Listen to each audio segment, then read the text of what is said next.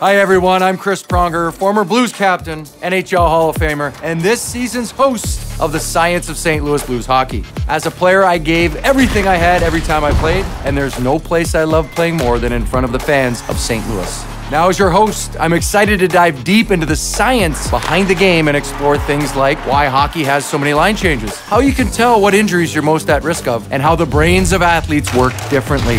Join me and the pros from BJC Healthcare and Washington University Physicians as we cover these topics and a whole lot more in season five of the science of St. Louis Blues hockey.